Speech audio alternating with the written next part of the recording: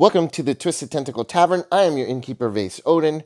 This is part one of a four part series on the spell Shadow Blade. In this video, we're going to break down the spell, how it works, and which classes have access to it. Parts two through four, we're going to build some characters out of Shadow Blade, mostly multi class characters, and using Shadow Blade as a primary tactic. So, ready? Let's go ahead and do this.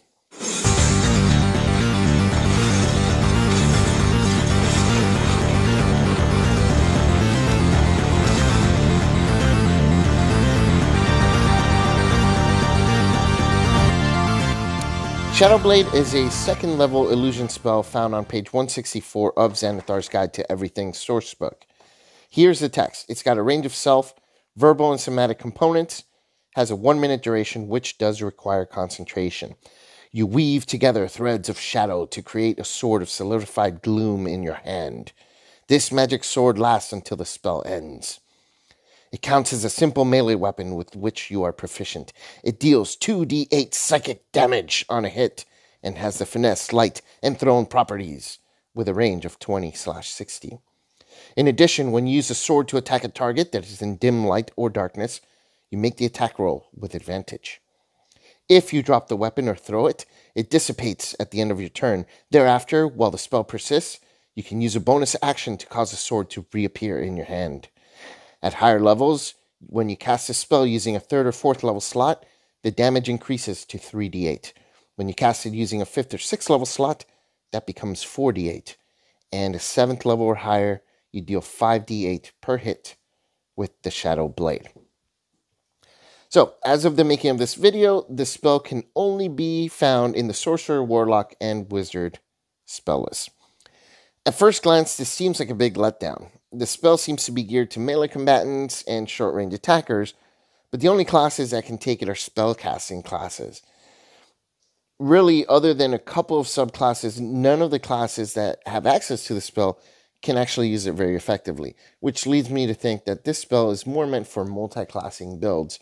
But with some prior planning, you can make it work with a few of the subclasses that have access to it without the need to multi class. So if you plan ahead and build around it, um, pretty much you can get some use out of it and, and actually make some really fantastic builds out of it. And believe me, it's totally worth it. Uh, one thing I don't recommend is just taking the spell randomly and expecting to get some use out of it. So I'm going to repeat my opinion on it. Only pick the spell if you plan to build around it. What are the drawbacks of the spell? Well, first off, using a second level spell slot you're going to be doing 2d8 damage per hit. When you get this spell at third level, this is pretty good compared to most cantrip damage. But once you hit fifth level in your class, most cantrips are going to outdamage this spell. It's also a concentration spell.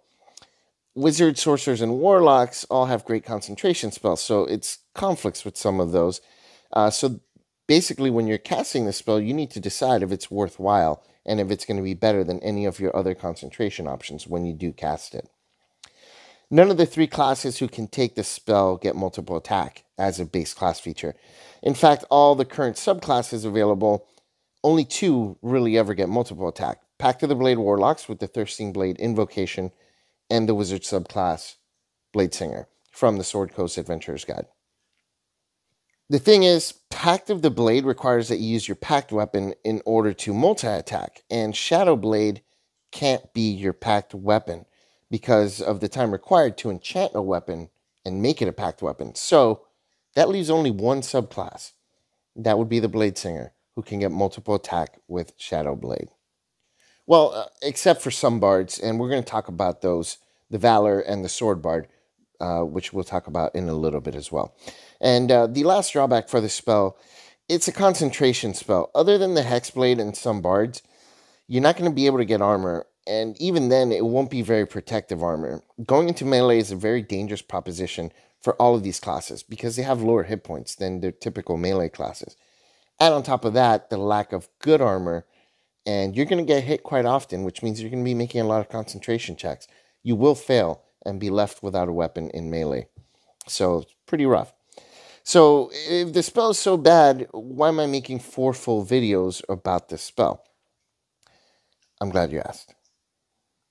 This spell is only bad if you don't go at it with a plan. So let's discuss the good aspects of the spell. Cast as a level 2 spell, your damage is 2d8. But as you upcast it, the damage increases pretty significantly. If somehow you're able to mix it with multi attack, you're pounding every enemy into the ground like dough. So to make this spell work, we have to be a bit clever with it. That's where the next few videos are going to be delving into. The other benefits of the spell are the versatility of being able to do the same damage at a distance, despite its limited range, that's still pretty good, and the possibility of gaining advantage on attacks against targets that are in dim light or darkness is also pretty darn good. And the ability to summon this blade without material components or an arcane focus, that can lead to some pretty handy uses. You know, if say you guys are disarmed or have to go and meet someone where they take all your weapons, you're able to summon this and uh, still be effective in combat if it comes down to it. The best benefit of the spell is that it deals psychic damage. This type of damage is rarely resisted, and if you can manage to get consistently high damage out of the spell, you can be a powerhouse against just about anything. Basically, the way I see it, uh, Shadow Blade is going to serve you best if you're planning to focus on single target damage.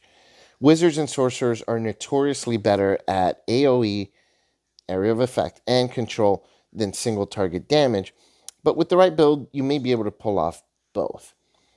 Now, let's get into the classes that can take the spell and break them down, and then we'll determine what our best options are for the Shadow Blade build. I wanted to start with Warlock because, in my opinion, it's probably the worst class to, to use if you want to try to make the spell work. Unless you're just dipping into a few levels of Warlock and multi-classing afterwards, there are far better options for dealing damage than Shadow Blade within the Warlock class as a whole. First, Hex works with Eldritch Blast. Hex doesn't work with Shadow Blade because of the concentration requirement. Even from level 3, when you have access to Shadow Blade, you can do more damage with Eldritch Blast than with Shadow Blade, with you know combined with the Hex spell. Um, and the scaling keeps up throughout your adventuring career. There's no level where a Hex plus Eldritch Blast, especially when you add the Agonizing Blast invocation, falls behind Shadow Blade. And if you want to go melee with a Warlock, you have a couple of other options too. Hex Blades with Pact of the Blade can do more damage than Shadow Blade from right from the start, and it scales better than Shadow Blade. Uh, Devil's Sight, uh, it's one of the few ways to benefit from this consistently because you'll have advantage on attacks. But if you have Devil Sight, you can already be hitting them with advantage while in complete darkness if the enemy doesn't have uh, the ability to see in magical darkness. Plus, if you have a way to cast magical darkness, that's a concentration spell. You're not going to be able to combine that with Shadow Blade unless one of your teammates happens to cast darkness, but that's really a lot to ask just to be able to pull off some advantage hits with Shadow Blade. And not just that, but the Hexblade's ability, Baleful Curse, which grants bonus damage on a hit, takes a bonus action to activate, which would prevent you from casting Shadow Blade on the first turn of combat, which definitely means it's not a good synergy with this spell. The Hex Warrior ability that lets you use your Charisma modifier for your attacks for the Hex Blade is really the only ability that works with Shadow Blade. But since Shadow Blade only lasts a minute, you're going to only benefit from this ability for one combat before having to take a short or long rest. I mean, after that, you're not going to be getting that bonus to damage. So with a regular weapon, you you use that Baleful Curse, and you can use it throughout the day with that bonus. So just all around not compatible with Hexblade either. I think I've made my point on the Hexblade with Shadow Blade. Trying to make this work is just going to lead to frustration, but it gets even worse for other warlocks only having two spell slots for most of your adventuring career, uh, along with limited defensive capabilities and no proficiency in Constitution concentration saves, means that this is if this is your primary tactic for dealing damage, you have a pretty big chance of losing your weapon to a failed concentration save, and not, and you may not be able to conjure it back up because you only have two spell slots for most of your career. One was used to cast a spell, and then that's it. And it only lasts a minute anyway, so even if you don't lose concentration. If you have more than two combats in an adventuring day, there goes your main tactic for dealing damage. Just uh, basically, I'm not quite sure why they give the spell to warlocks, other than to encourage people to multi-class dip into Warlock, get Shadow Blade, and then multi-class into another class. Is is the only thing that I, I'm thinking is what they were thinking. so, to summarize, unless you're multi-classing, don't even bother with Shadow Blade as a Warlock. Maybe in the future we're going to get a Warlock subclass option or invocation that can make the spell better, but we're not there right now. So up until this point, you may notice I've been pretty negative on Shadow Blade. I really wanted to drive the point home that 90% of the time, this spell is just not going to be a good option for your character, unless you just want that thematic feel of having that Shadow Blade. But if you're still with me right now, you've made it to the part where I will discuss actual way, ways to make the spell work. And to do that, we're going to start with the wizards. For the most part, I'd say that wizards generally are also a bad choice for Shadow Blade. There are three subclasses I'd even consider, but wizards have the potential to know a ton of spells and they have a ton of utility, so you can still get a lot out of a wizard, you know, even if you're using Shadow Blade as a primary tactic. Most of the time, I would say a wizard is a utility type character, so you probably won't be actively dealing damage as a wizard.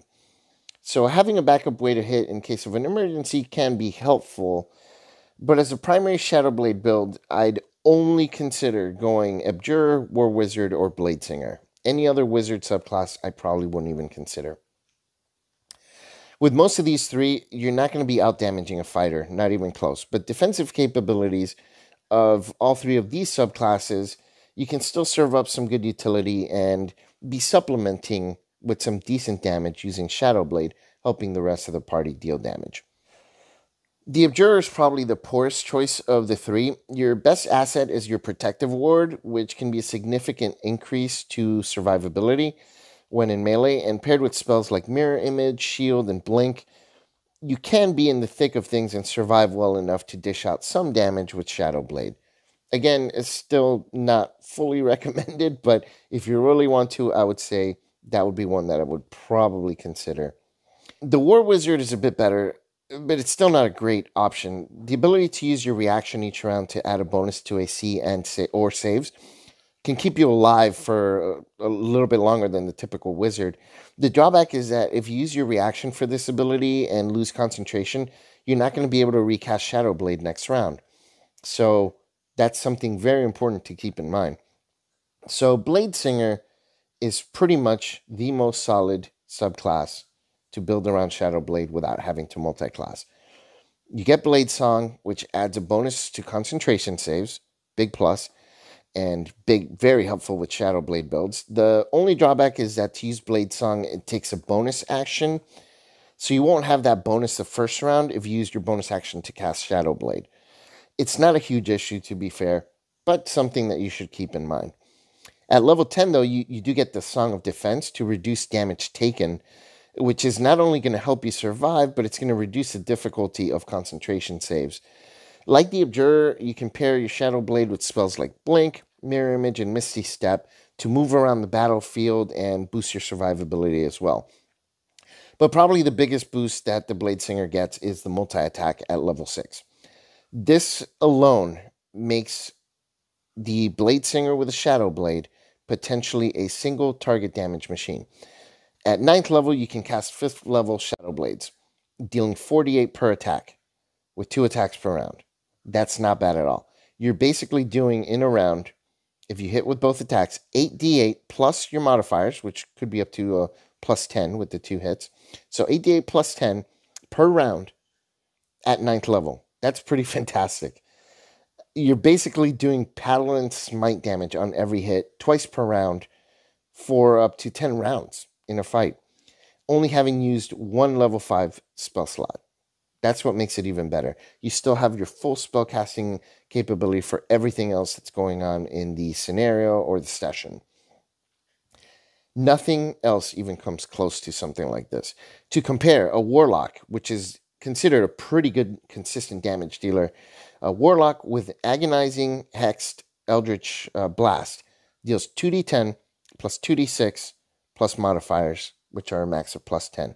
So at a maximum, you're doing 30, 32, 42 with a hexed Eldritch Blast. Whereas the Shadow Blade, consistently, you're doing a maximum of uh, 74 per round. I mean, that's almost double.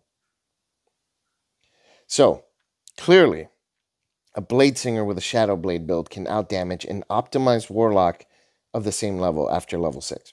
Now, what about 11 and up? The gap lessens a bit because the Eldritch Blast does scale up, whereas Shadow Blade is not going to scale up yet at that point. Um, but it still outdamages a Warlock by, by quite a significant amount. Not only that, but the Blade Singer is a full caster with many other tricks up his sleeve. So it makes a Shadow Blade Singer one of the most potent single target damage dealers in the game after level 6. Next, we have the Bards. Bards are a strange choice for this spell, but with magical secrets at level 10, you can have a College of Swords Bard actually putting out the same damage as a Blade Singer, plus a little bit more. Between using two weapon fighting a bit more efficiently and having Bardic Inspiration die that they can add to their damage rolls, they can dish out a bit more damage for a few rounds. But their spell list is a bit tougher to work with. So that's a big drawback with the with any bard for that matter. They're basically it's their spell list is smaller than a wizard's, and most of the really good bardic spells require concentration. I think pretty much all the good ones require concentration. So that conflicts with your Shadow Blade a lot.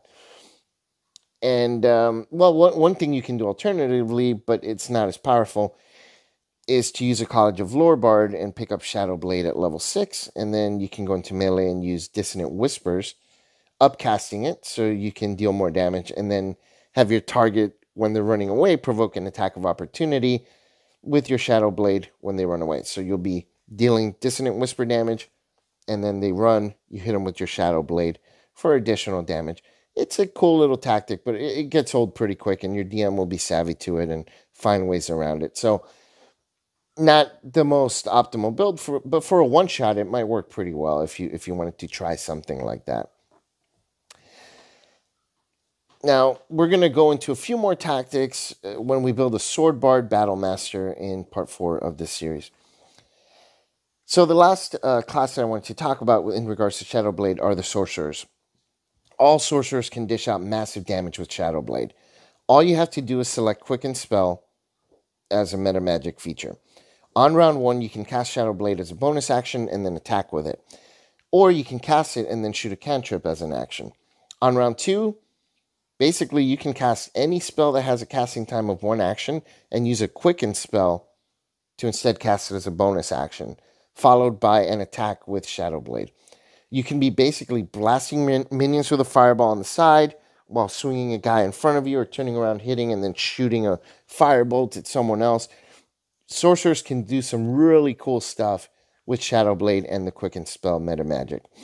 Uh, so, of all the classes, I think the Sorcerer probably has the most versatile and fun spell combinations that you can use with Shadowblade. We're going to go a little bit deeper into some tactics in part three of this series.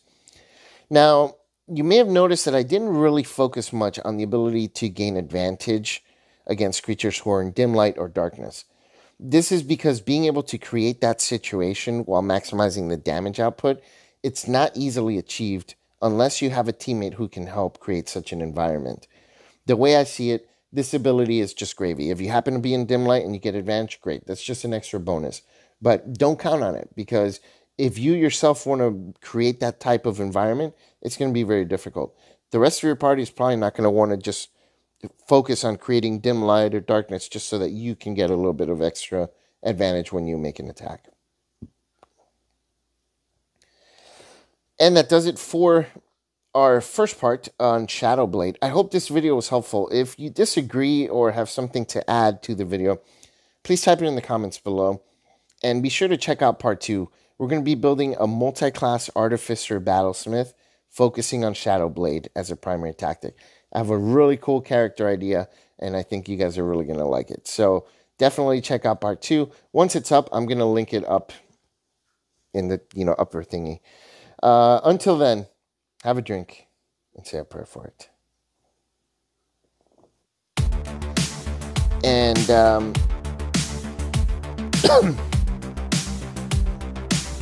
Well, uh, except for some bards, and we're going to talk about those.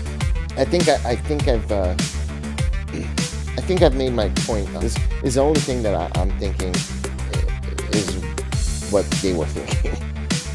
I think I, I think I've uh, I think I've made my point. I think I, I think I've uh, I think I've made my point.